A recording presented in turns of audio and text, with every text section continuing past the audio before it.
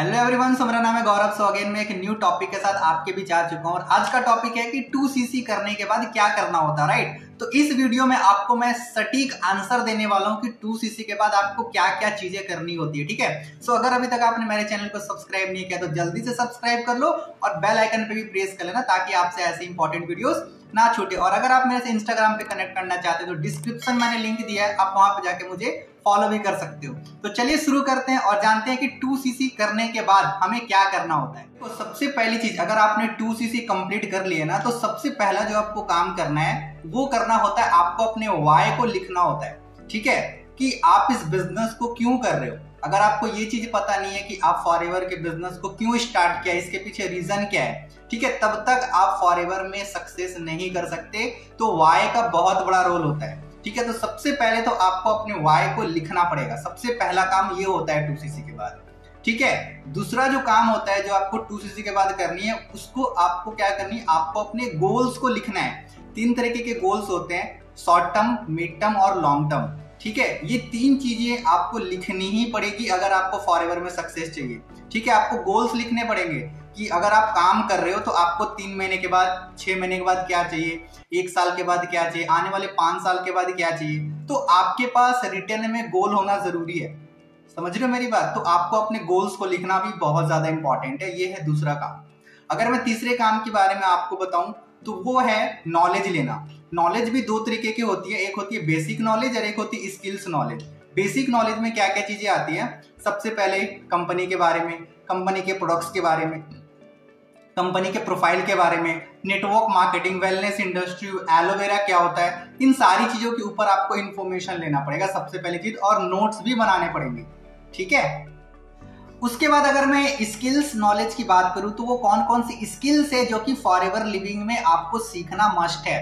To सी के बाद। सबसे पहली चीज़ होती है लिस्ट मैकिंग स्किल्स ओके उसके बाद होती है prospecting skills lead generation skills invitation skills follow up skills closing skills objection handling skills relation building skills ये जितने मैंने स्किल्स बताए ना, इन सभी चीज़ों के ऊपर आपको नॉलेज लेना शुरू कर देना है आज से क्योंकि यही वो सारे स्किल्स है जिसके वजह से आप फॉर एवर लिविंग के अंदर में आपको क्या करना है, आप पैसे कमा सकते हो इन्हीं स्किल्स की वजह से। अगर आपके पास ये सारे स्किल्स नहीं है, सिर्फ़ आपके पास बेसिक नॉलेज है तो आप फॉर में ग्रो नहीं कर पाओगे, सिर्फ़ बेसिक नॉलेज लेकर। आज फॉर के अंदर बहुत सारे ऐसे लोग मिल जाएँगे जिसके पास बेसिक नॉलेज तो है बट स्किल्स की नॉलेज नहीं है, ठीक है? तो आपको ये सारे स्किल्स की नॉलेज भी लेनी पड़ेगी, ठीक है? तभी जाकर आप फॉर में ग्रो कर पाओगे, ठीक है? तो ये थी टू के बाद आपको ये चीज़ें भी करनी है ओके उसके बाद आपको डेली बेसिस पे आपको ट्रेनिंग्स अटेंड करनी है फॉर एवर की ट्रेनिंग्स अपने सीनियर्स की ट्रेनिंग्स को अटेंड करना है।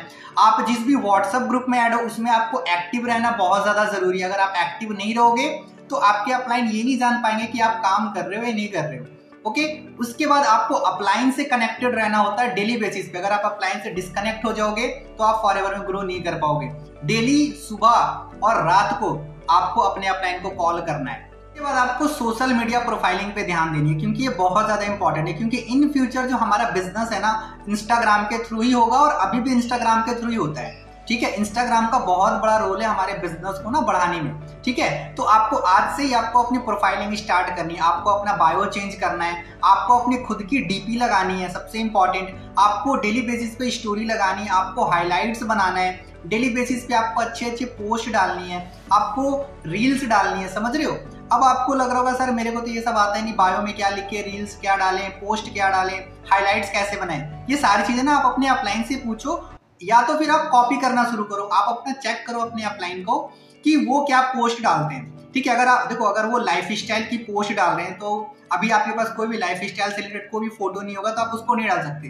बट उसके अलावा आप मोटिवेशन से रिलेटेड वगैरह आप पोस्ट डाल सकते हो।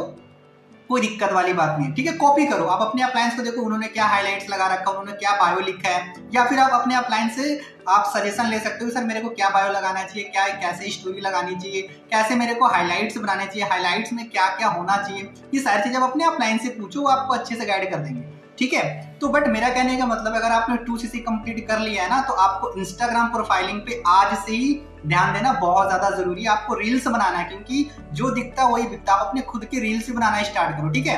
सो आई होप आपको यहाँ तक अच्छे से समझ आ गया होगा कि टू सी के बाद क्या करना है। अब इससे भी ज़्यादा इंपॉर्टेंट पॉइंट जो अगर है, ठीक है तो वो है सबसे पहली चीज़ लिस्ट मैकिंग देखो नेटवर्क मार्केटिंग या फिर किसी भी नेटवर्क मार्केटिंग कंपनी या फिर मैं बात करूँ अपनी company Forever living company के अंदर में, सबसे पहला जो स्टेज होता है, ठीक है, काम को स्टार्ट करने का, वो होती है लिस्ट बनाने से। ठीक है, सबसे पहला स्टेज होता है लिस्ट मैकिंग तो आपको सबसे पहले आपको लिस्ट बनानी है, जितने भी ज़्यादा आप, जितने ज़्यादा लोगों को आप जानते हो, सौ, दो सौ, तीन सौ, चार सौ लोगों को आप लिस्ट बनाओ प्रॉपर ठीक है, जब आप उसको लिस्ट बना लोगे, उसके बाद क्या करना होता है, आप अपने अपलाइन से पूछो, ठीक है, कि उनका वेबिनार कब होता है. ठीक है तो जब भी उनका प्रेजेंटेशन सेशन होता है न्यू लोगों के लिए, फिर आपको उन लोगों को कॉल करना होता है, ठीक है, जिनका भी आपने लिस्ट बनाया है, उन लोगों को कॉल करना होता है अपने वेबिनार्स को दिखाने के लिए. क्योंकि जब वो हमारे वेबिनार्स को देखेंगे, तभी वो जाके हमारे बिज़नेस को ज्वाइन करेंगे राइट तो उनको फिर क्या करना होता है? इन्विटेशन करना होता है टू के बाद। लिस्ट बनाया इनविटेशन किया। जब वो प्रेजेंटेशन को देख लेते, उसके बाद हमें उनका फॉलो अप लेना पड़ता है। ठीक है कि उनको क्या समझ आया, क्या समझ नहीं आया? उसके बाद फिर हमें उन्हें, उनकी क्लोजिंग करनी पड़ती है। उनको बताना पड़ता है कि इस तरीके से हमारा बिज़नेस स्टार्ट होता है। ठीक है टू सी से स्टार्ट होता है या फिर जैसे भी होता है, आपको ये सारी चीज़ें बतानी होती है। ठीक है? सो सो आई होप आपको क्लियर हो गया होगा कि टू सी के बाद क्या करना होता है। अगर आपको समझ आ गया कि टू सी के बाद क्या करना होता है तो आप मेरे को कमेंट में ज़रूर बताना। ठीक है? और अगर आपको ये वीडियो अच्छी लगी तो ज़्यादा से ज़्यादा अपने टीम मेंबर्स को शेयर करिए, ताकि उनको भी पता लगे कि टू सी के बाद क्या करना होता है। ठीक है? सो हम फिर मिलेंगे एक ऐसे ही वीडियो के साथ में। तब तक के लिए थैंक यू सो मच